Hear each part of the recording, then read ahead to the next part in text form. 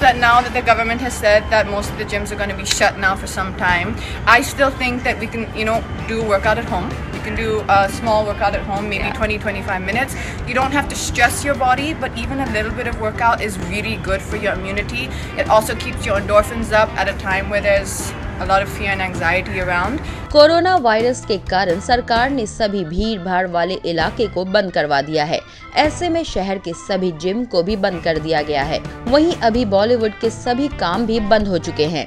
ऐसे में बॉलीवुड के सितारे भले ही अभी घरों में बंद हो चुके हैं, लेकिन डेली वर्कआउट को वो मिस नहीं कर सकते हैं। ऐसे में एक्ट्रेस कैटरीना कैफ ने बहुत अच्छा विकल्प ढूंढ लिया है और कैटरीना ने अपनी छत पर ही एक्सरसाइज करना शुरू कर दिया है, क्योंकि कैट किसी भी कीमत पर अपने वर्कआउट रूटीन को नहीं छोड़ना चाहती हैं। वहीं कैटरीना कैफ का एक एक्सरसाइज वीडियो सोशल मीडिया पर खूब वायरल हो रहा है कैटरीना ने अपने इस वीडियो के साथ लिखा है, घर पर वर्कआउट जिम नहीं जा सकती, इसलिए वो वर्कआउट शेयर कर रही हूँ, जो हम घर पर कर सकते हैं। सुरक्षित रहें और हो सके तो एक्टिव भी रहें।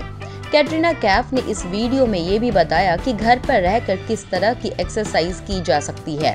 कैटरीना कैफ के इस वीडियो को लगभग तीन लाख बार देखा जा चुका है। विल कैटरीना की अगली फ़िल्म सूर्यवंशी है, जो अभी कोरोना वायरस के कारण रिलीज़ नहीं हो पा रही है।